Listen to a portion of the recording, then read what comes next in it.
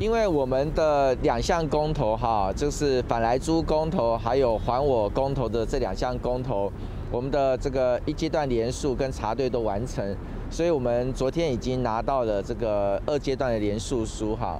那为了要搭配这个宣传我们二阶段的公投联署，同时也来宣传八月二十八号即将可能会举行的呃全国性的公民投票，所以我特别租了四十八辆的反来租公车。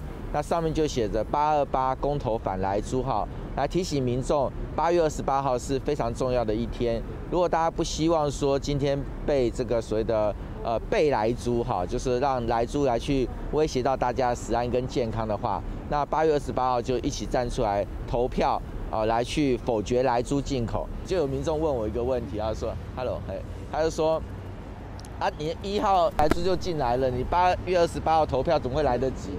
那我就跟他讲说，是来不及啊，但是你要吃九个月的来租，还是吃一辈子的来租？如果你今天没有公投，就吃一辈子嘛。但有公投的话，你投出来投票，公投通过，我们就只要吃九个月的来租。所以今天这个公车上路，其实是表彰自己的一份心意哈。我们都强调，蔡英文总统、苏贞昌、什么陈其仲、什么陈时中，为了增进我们台湾跟美国的关系，哦。我们需要美国的支持。那进口来猪以后，含来剂的美猪以后，是增进台美的邦交，还是破坏，跟这个使台湾跟美国更加疏离呢？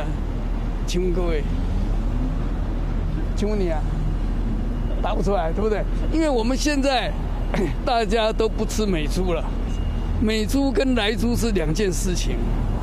现在我们大家，你看大家都不吃了，连立法院立法委员也都不吃美猪了。你也不知道它是有没有含来剂嘛？可是美国的养猪场大部分百分之八十左右是不用来剂的。那你们会你们会不会觉得很奇怪？为什么大家都不不买美猪了？那台猪拼命涨价，那我们主这些这个低层的底底层的民众也都吃亏了。这这个蔡英文是在妨碍台湾跟美国的关系呀。对不对？所以我说这里面呢，这个政策不是莫名其妙吗？国军不吃学校，他们要去看学校，对不对？我们苏苏贞昌院长去看学校，用的是台珠还是美珠？那大家都不用美珠，虽然还没有进来。那你想看，那美国人是高兴还是生气？所以他们在破坏台美的关系，这一定有猫腻，对不对？什么猫腻？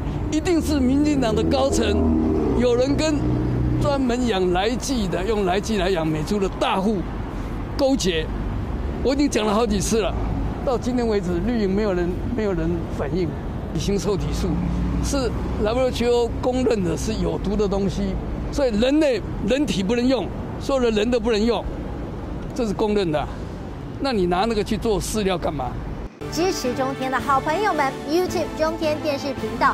即将开通会员功能，诚挚的邀请您一起来加入会员，挺中天。加入会员将实质的帮助中天新闻维持营运。中天新闻近四百位的员工感恩在心。而 YouTube 中天电视会员功能即将上线，相关的资讯更进一步的内容，敬请关注中天新闻直播、中天新闻脸书以及快点 TV 脸书粉专。